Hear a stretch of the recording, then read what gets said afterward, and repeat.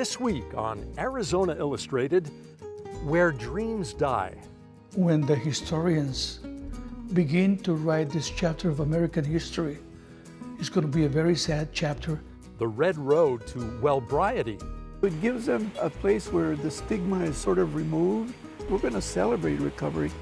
A haunting in Bisbee. One of the rumors that was always going around was that there was this energy like the Sedona vortex. Remembering Bill Havens. He wrote a letter two weeks after he got back to Scotland. He was called out on a mission. And from the vault. About mid morning, the Soviets land at DM, but they are quickly whisked away to a makeshift headquarters in adjoining mobile homes.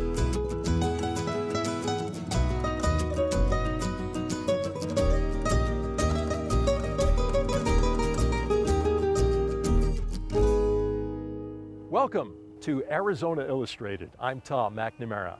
We've heard it said that we are a nation of immigrants, and for many Americans, that is true, with their ancestors surviving overwhelming odds for the promise of liberty. Native peoples were already here, others came against their will on slave ships. Today, for many, the journey to freedom is an escape from persecution, poverty, and pain. Each one has a story of hope.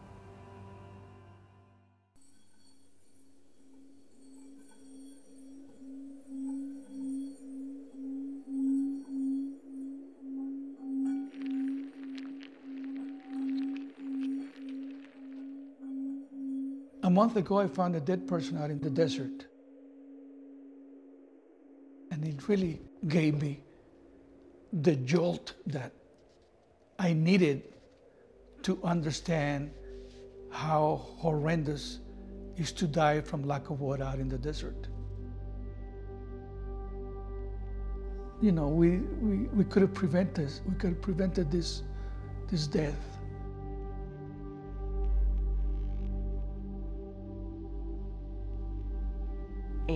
Vast, painful, and violent humanitarian crisis has been unfolding in southern Arizona that is largely ignored and largely erased in the national discourse about immigration. We are a nation of immigrants, but we are also a nation of laws. It is wrong and ultimately self-defeating for a nation of immigrants to permit the kind of abuse of our immigration laws we have seen in recent years, and we must do more to stop it.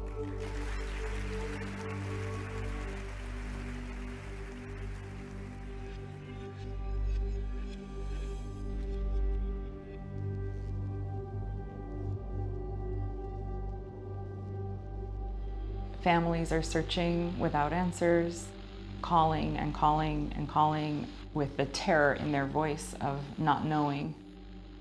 And then in the meantime, this national narrative vilifying immigrants and their families.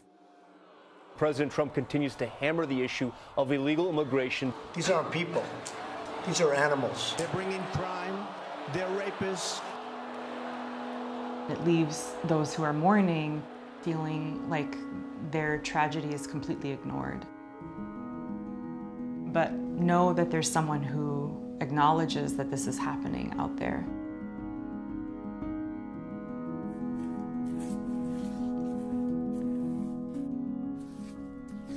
I'm trying to honor the courage of the people who make the trip and give a voice to the suffering and the dreams and the hopes and the disappointments. And at the same time, point fingers. Hey, this person died here, this one here, this one here. But I don't want that to determine who I am. I don't want to be identified as an activist. I'm an artist. I'm a human being. I react to injustice.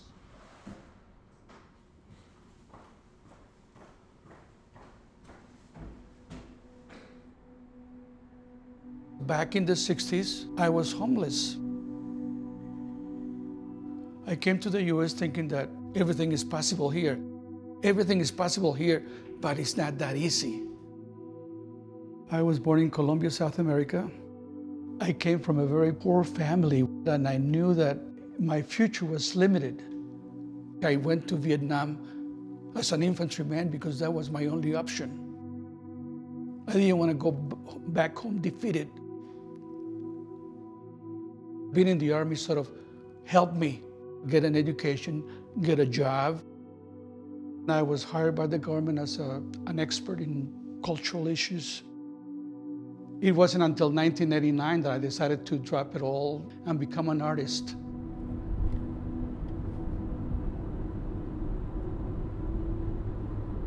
When I moved here, I immediately wanted to connect with the people who were putting the wood out in the desert. And I saw the mass of red dots almost covering the geographical detail of the map. I knew right then and there I needed to take that red dot to where the tragedy occurred. Every time they collect the body, they put a GPS marking where the person was found. So the night before, I look at how am I going to get there? How far are we going to have to walk and be prepared for it? The ultimate goal is to get to the location, one way or another.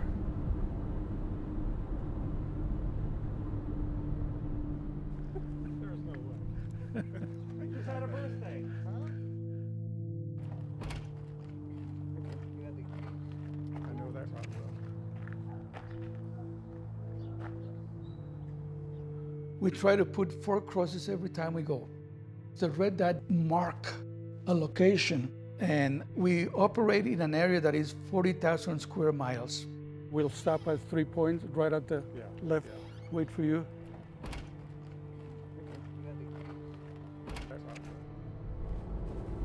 I got an email from a woman whose brother died here. And she says, Could you put a cross for my brother? When did he die, I wonder? 2013. I have a friend who's my GPS person who's able to guide us to the exact location. Well, it looks like there might be a couple of ways to connect to it, but the one I think is. Um, Sometimes you have to find three miles. roads that the map doesn't even show. Coming. Right Yeah. here. You see it? Yeah, Okay. right here. Okay.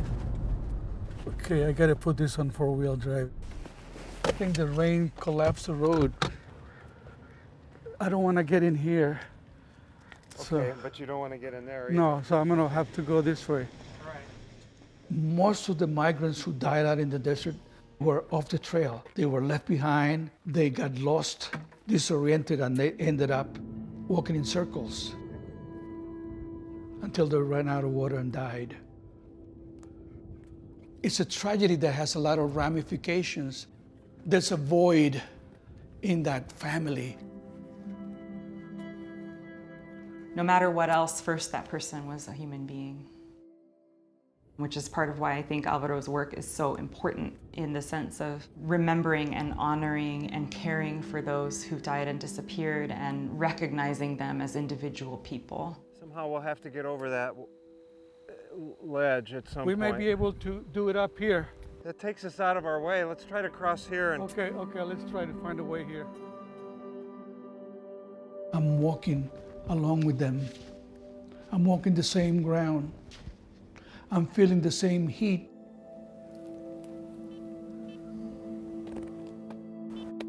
Three feet is okay with me. Do we have a name? Unidentified, undetermined skeletal remains, April 13th, 2018. half of the time we don't have the names of the person. And those cases affect me the most. Okay. Because there's no closure for the family. That family still hoping that one day this person is going to make a phone call and say, hey, I'm here. We know that that's not going to happen. And that breaks my heart. This is like a little oasis here. So he probably got here looking for shade and a little cool and just couldn't get up.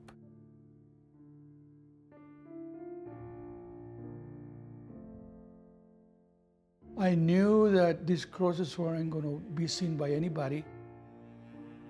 The families of those people never get to see them, but every now and then something magical happens.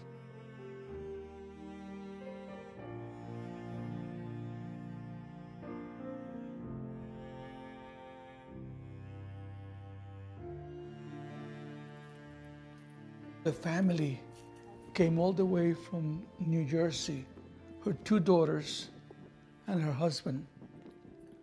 And we went together and put a cross for them. She always tried to help as much as possible. And she inspires so many people, like family members or anyone that needed help.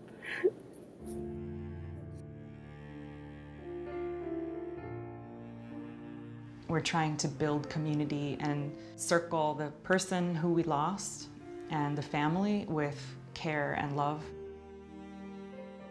And trying to create mourners where there's silence and there's ghosts and there's desert.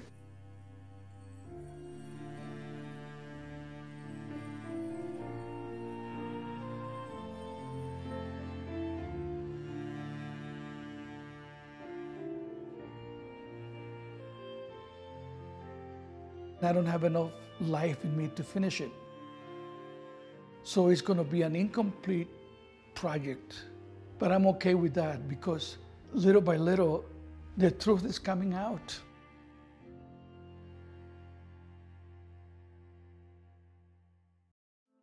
Twelve years ago, mental health worker Eddie Grijalva set out to celebrate Native American sobriety and resilience through a community-based, family-friendly event. Well, his Red Road to Wellbriety has since become an annual day-long gathering on the Tohono O'odham Nation.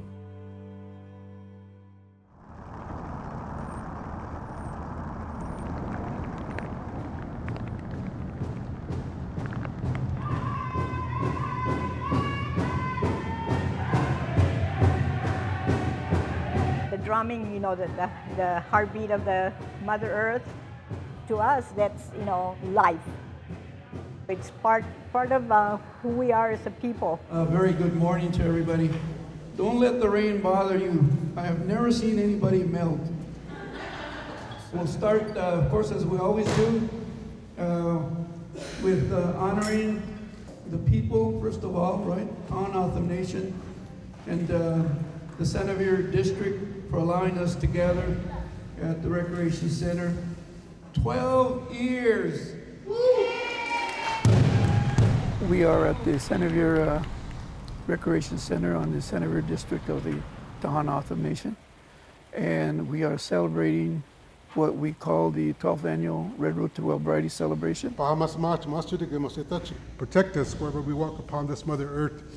Uh, celebrating recovery in our native communities. We uh, try to bring an emphasis on uh, that it is possible that people do recover, that people can change their lives.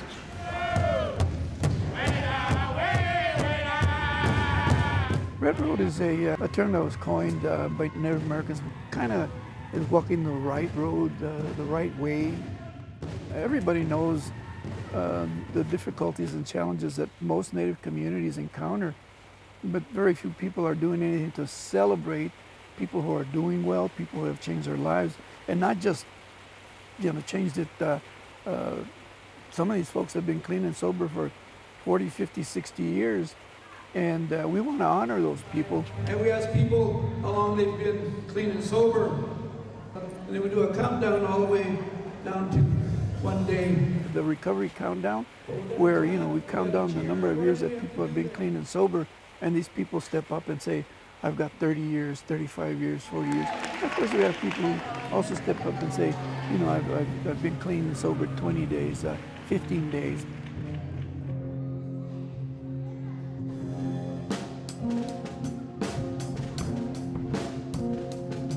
So it gives them a, place where the stigma is sort of removed. And so it gives them, you know, an opportunity when somebody says, look, we're going to celebrate recovery. We're not going to talk about, uh, you know, all the things that, you know, we can't do. What about the things that we can do? I myself am, am in recovery and um, having um, had some difficult uh, obstacles in my life that I had to face, in reality facing them and not just glossing over them and, and uh, thinking that um, there's got to be something better than this. And beginning in my own recovery and people giving me opportunities, I mean, great opening doors for me that I never dreamed possible.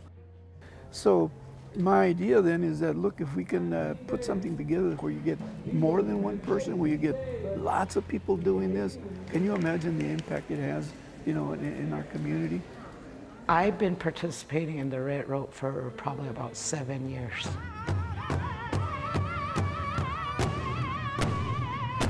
Means a lot to me because it saved my life. I've been sober six and a half years. This is the longest I've ever been sober. So all of this has to go today because we are not taking it with us. Every year um, it's a struggle and uh, to raise the funds that we need to uh, put on an event like this. We're always hopeful that uh, next time we put something together and we ask the community to support us, that hopefully they will.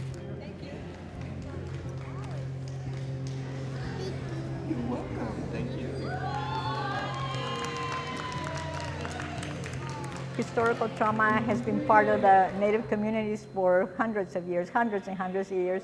And we believe that by healing one individual at a time, that, uh, that healing goes back seven generations and seven generations forward.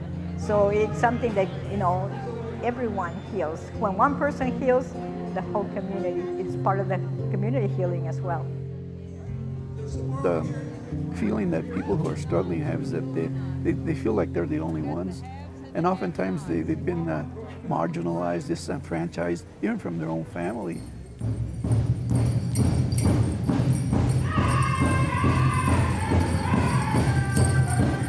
People need encouragement. Uh, they need somebody to support them. They need somebody to just uh, offer a hand and uh, be, able to say to them, look, you can do this, you can do this. And there's opportunities and there's resources in the community to be able to do this so you don't feel alone. The Red Road is something very positive for our people.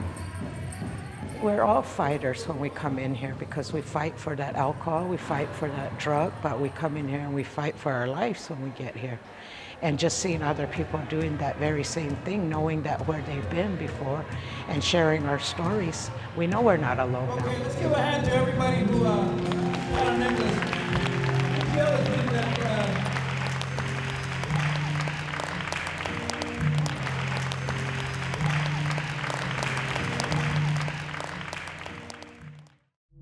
With Halloween just behind us, we wanted to share this paranormal moment from a recent visit to Bisbee, Arizona, when an unexplained energy put our lights on the blink and left us wondering what if?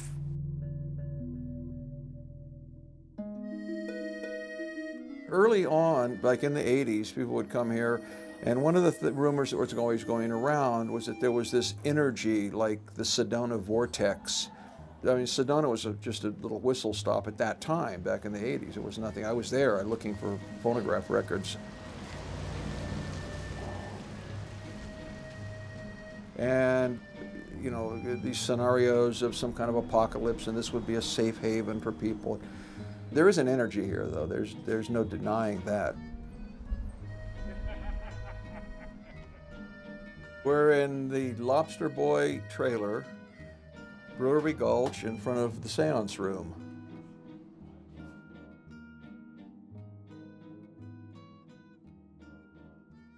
I've been working on this trailer for basically three years now. It's from American Horror Story Freak Show. So this was the star trailer. Your building was built in 1904, and you can't deny that you had sort of a paranormal feeling in your space at different times. Definitely, yeah. You know, a lot of lives were lived in here. People died in here, had experiences in here, so on. So, you know, this, just that alone, this building would have a lot of energy, as as does a lot of, uh, uh, you, yeah. My light is doing that for some weird reason. Never done that before. Well, clearly the spirits have spoken. Spirits, are you see what I mean? Yeah. There you go.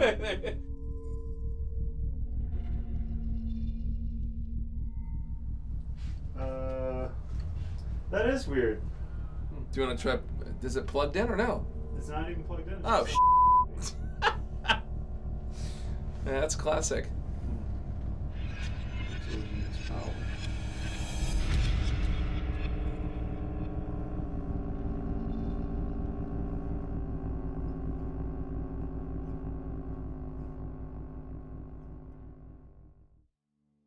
Veterans Day 2018 will be observed on Monday, November 12th.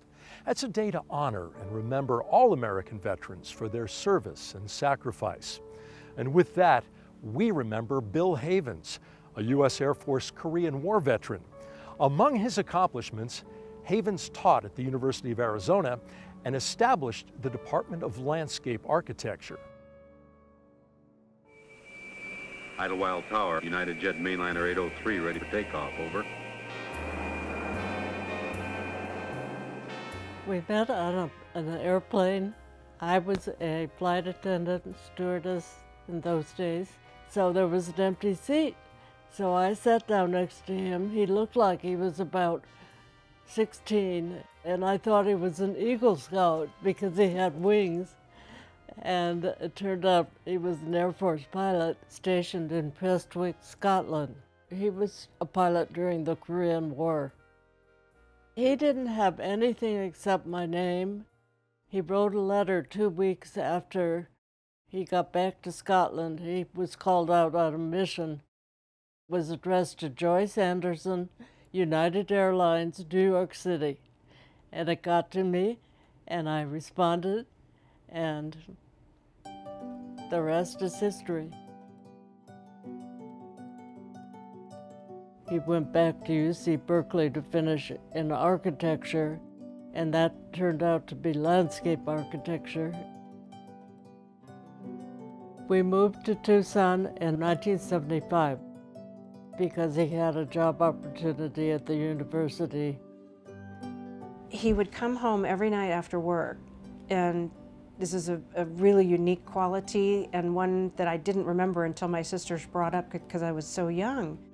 He would take 30 minutes and spend with each one of us individually, my two sisters and I, and just be very present and very curious and interested in how our day was. So was really, really special time that we had.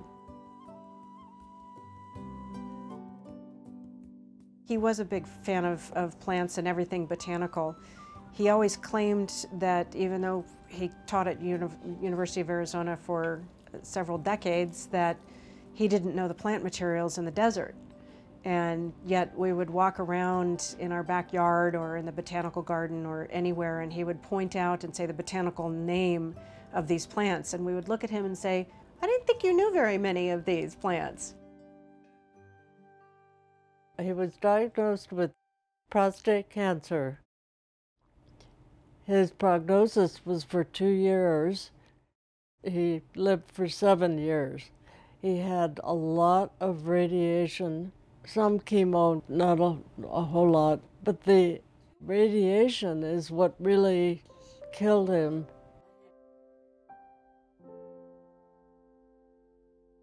At his celebration of life, a lot of his students showed up. We didn't even expect they had heard about the event and they wanted to pay their respects.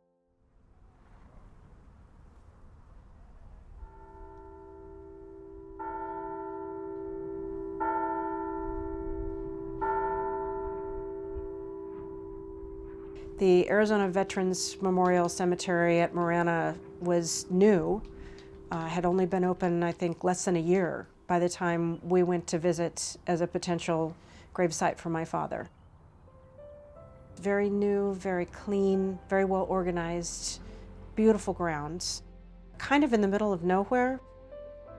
He grew up on uh, farmland in Oklahoma, and there's a lot of farmland around there, so I kind of feel like he's back at home and near Pinal Air Park, and he can actually see the, the beautiful Catalina Mountains Pusch Ridge from the cemetery.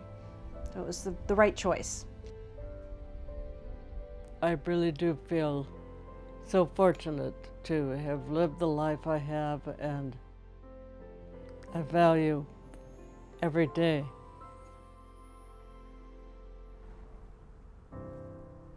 When the end comes from me, I get to be buried right next to him. That's good too.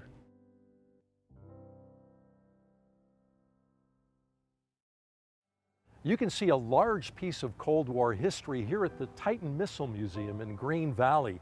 And on that note, The Trump administration recently announced plans to withdraw from the Intermediate Range Nuclear Forces Treaty, or INF, alleging that the Russians have been in violation since 2014. Now, that agreement was signed in 1987 by President Ronald Reagan and Soviet leader Mikhail Gorbachev. It was designed to eliminate a particularly destabilizing class of nuclear weapons. Well, here's a look back at 1988 when Soviet inspectors first arrived at Davis Monthan Air Force Base from the vault. Tucked away in a distant corner of Tucson's Davis Monthan Air Force Base sits a yard full of cruise missiles. But this group of missiles is here for one reason to be inspected by a team of Soviet experts to ensure compliance with the Intermediate Nuclear Forces Treaty, the INF. About mid morning, the Soviets land at DM, but they are quickly whisked away to a makeshift headquarters in adjoining mobile homes. There, they will work out any last minute details of this historic dissection of the cruise missiles. Between now and Wednesday, a total of seven launchers will be cut up and packed away. Taking these first steps toward fulfilling the intent of the INF Treaty is important, and the Soviets are the first to admit it. There are about uh, 50,000 uh, nuclear weapons uh, in the world. I mean, the Soviet Union and the United States of America possess the huge arsenals of the nuclear weapons. And though maybe it's a small step, but uh, I stress it's a very important step.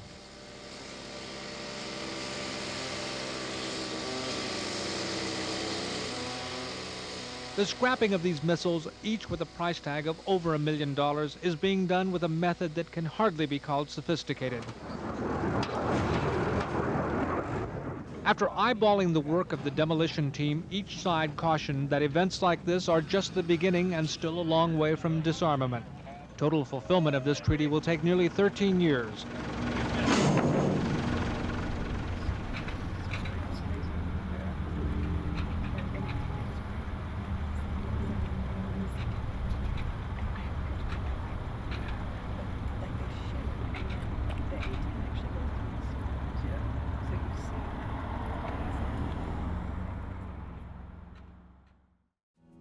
Thank you for joining us here on Arizona Illustrated.